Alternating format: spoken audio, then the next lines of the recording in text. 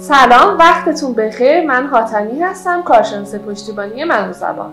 امروز قراره در مورد کاربرد زمان حال ساده صحبت بکنیم. اولین کاربردی که زمان حال ساده داره در مورد عادتهای ما هستش. مثلا I drink tea at breakfast. من برای صبحونه چای می‌خورم. برای احساساتی که غیر قابل تغییر هستن از زمان حال ساده استفاده می‌کنیم. مثلا میگیم I love my mom. من مامانم خیلی دوست دارم عاشق مامانم.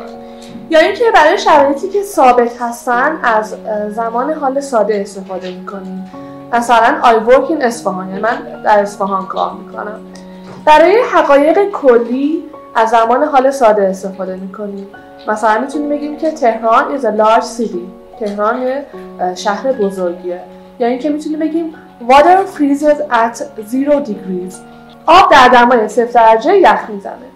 خب دوستان قرار در ویدیو بعدی در مورد مزه ها و توصیف اونها صحبت بکنیم تا ویدیو بعدی خدا نگهدار.